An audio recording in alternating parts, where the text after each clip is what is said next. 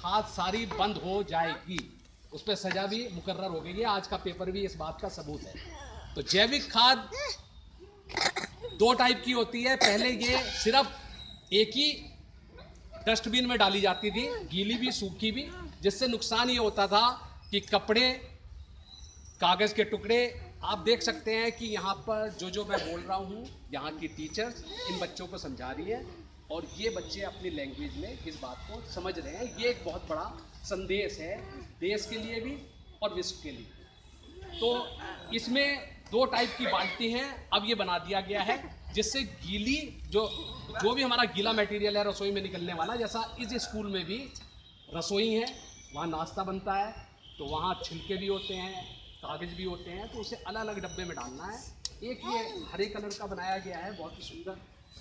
जिसमें साफ़ लिखा हुआ है गीला कचरा और एक ये कमिश्नर महोदय ने खुद ही उठा के दिखा दिया है ये।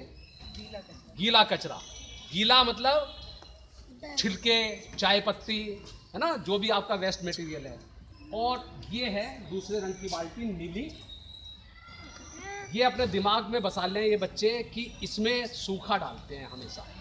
तो इससे एक चीज़ तो ये फ़ायदा हो गया कि आपका गीले कबाड़े का डंप जो है, पहाड़ जो है, वो नहीं बनेगा।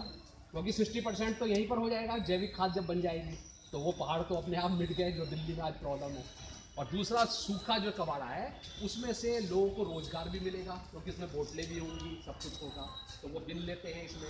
और फिर थोड़ा ही बचता है, बीस परसेंट, उसे हम स्टोर कर देंगे। और बहुत चीज़ें हैं।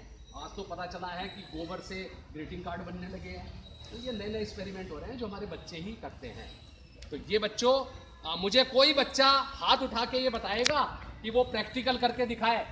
हाथ उठा के इस गीले इसका कैसे यूज़ करेगा?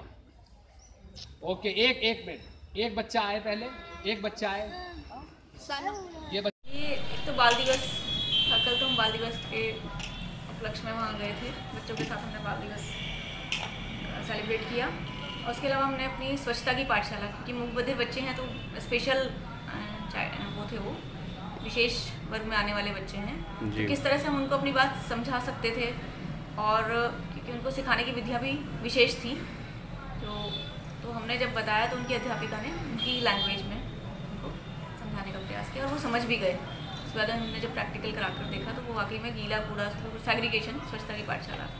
सेग्रीगेशन और स्वच्छता भी मैम कुछ फैसिलिटी दी जाती है इन बच्चों को आपके द्वारा? हमने कूड़ेदान जिस तरह से